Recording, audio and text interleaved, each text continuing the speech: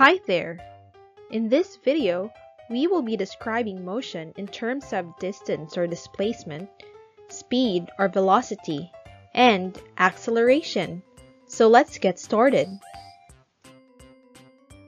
Many of the things around us move.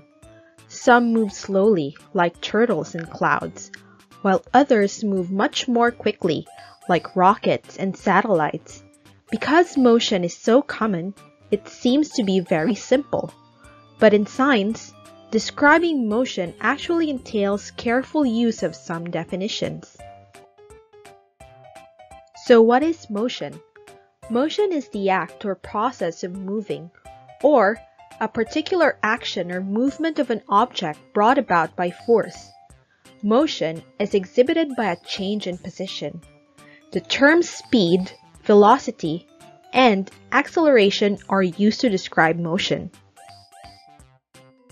The motion of an object traveling in a straight path is called rectilinear motion.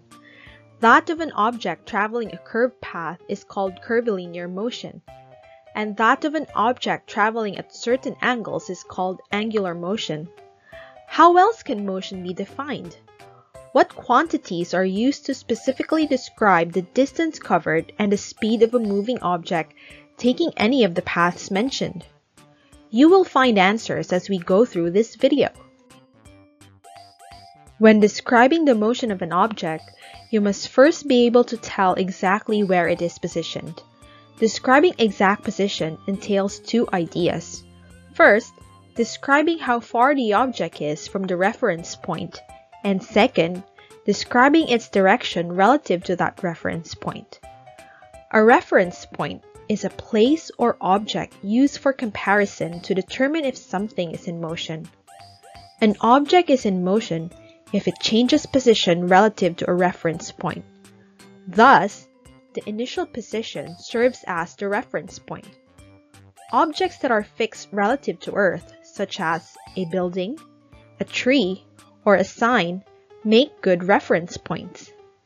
Distance is the measure of the interval between two locations measured along the actual path connecting them, while the shortest path in a straight line between the initial position and final position is known as displacement. Take a look at this illustration.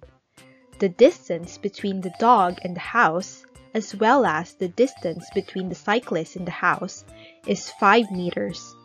The displacement of the dog while moving in a straight line from its original position towards the house is 5 meters east, while the displacement of the cyclist while moving in a straight line from her original position towards the house is 5 meters west. Even though they both move through equal distances, their displacements are different because the dog moves to the east, while the cyclist moves to the west. Let's try the sample problem. On his way to school, Mike traveled 100 meters north, 300 meters east, 100 meters north, 100 meters east, and 100 meters north. Find the total distance traveled and determine the displacement made by Mike. To solve for total distance, we simply add all the given distances. We have 100 meters plus 300 meters plus 100 meters plus 100 meters plus 100 meters for a total distance of 700 meters. To solve for total displacement, let us look at the illustration. You may have noticed that a figure forms a right triangle. The displacement made is the hypotenuse, while the given values make the leg on the y-axis and the leg on the x-axis. The Pythagorean theorem tells us that the relationship in every right triangle is a squared plus b squared is equal to c squared, or c is equal to the square root of a squared plus b squared. Thus, we get the formula displacement is equal to the square root of d sub x squared plus d sub y squared. Using the formula, we can now solve for displacement. total displacement equals the square root of d sub x squared plus d sub y squared. First, we add the distances 100 meters plus 300 meters and 100 meters plus 100 meters plus 100 meters. We now have 400 meters squared and 300 meters squared. Then we add the squares of both numbers. Lastly, we get 250,000 meters squared, then get the square root of 250,000 meters squared, which is 500 meters. So Mike has traveled a total distance of 700 meters and displaced a total of 500 meters on his way to school. People usually associate the term speed with fast-moving objects, such as high-speed cars and racing bikes. Speed is the rate at which distance is covered at a given time. Speed is calculated by the distance traveled divided by the time elapsed. We can express speed in terms of miles per hour, kilometers per hour, or meters per second. When direction is associated with speed, you will have a new quantity known as velocity. Thus, velocity is a speed in a given direction. Velocity of an object changes when the speed changes, the direction changes, or both the speed and direction change. A car driving along a highway from one town to another might have constant speed, but the velocity changes nevertheless. If you are moving along at 25 meters per second, and then you come to a bend in the road, your velocity changes because your direction changes. Velocity is calculated by the displacement divided by the time. Note that there are arrows on the symbols to indicate that velocity and displacement are vector quantities. Let's try calculating for speed. Rachel watches a thunderstorm from her window. She sees a flash of lightning and begins counting the seconds until she hears the clap of thunder five seconds later. Assume that the speed of sound in air is 340 meters per second and the light was seen instantaneously. How far away was the lightning bolt?